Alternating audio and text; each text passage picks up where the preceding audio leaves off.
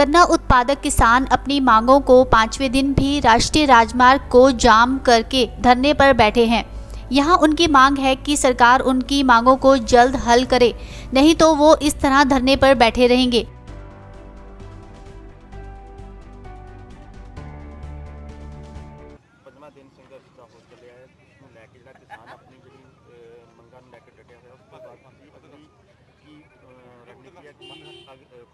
ਪੰਜਵਾਂ ਜੇਕਰ ਸਰਕਾਰ ਨਹੀਂ ਮਨਵਾਉਣ ਦੇ ਵਿੱਚ ਕਾਮਯਾਬ। ਅਸੀਂ ਸਰਕਾਰ ਨੂੰ ਬੇਨਤੀ ਬਾਰ-ਬਾਰ ਕੀਤੀ ਹੈ ਵੀ ਸਾਡੇ ਜਿਹੜੇ ਪਿਛਲੇ ਪੈਸੇ ਸਾਡੀ ਪੇਮੈਂਟ ਦਿੱਤੀ ਜਾਵੇ, ਜਿਹੜੀਆਂ ਸਾਡੀਆਂ ਪੈਲੀਆਂ ਹੀ ਖਰ- ਖਾਲੀ ਕਰਵਾ ਦਿੱਤੀਆਂ ਜਾਣ।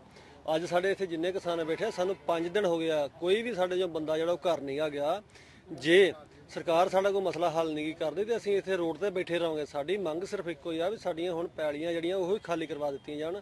ਤਾਂ ਕਿ ਸਾਡੀ ਕਮ ਸੇ ਕਮ ਜਿਹੜੀ ਚਿੰਤਾ ਵਾ ਇਹ ਦੂਰ ਹੋ ਸਕੇ। ਲੇਬਰ ਜਿਹੜੀ ਆ ਉਹ ਘਰ ਬੈਠੀ ਆ, ਉਹ ਵੇਟ ਕਰ ਰਹੀ ਹੈ ਵੀ ਪਰਚੀਆਂ ਲੈ ਕੇ ਆਓ ਤੇ ਤੁਸੀਂ ਅਸੀਂ ਤੁਹਾਡਾ ਗੰਨਾ ਚਲੀਏ ਨਹੀਂ ਤੇ ਅਸੀਂ ਵਾਪਸ ਚਲੇ ਜਾਣਾ।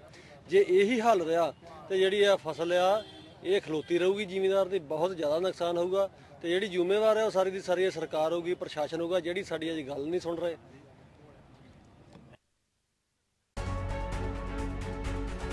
एन स्टार न्यूज के लिए मुकेरिया से जॉनी गेरा की रिपोर्ट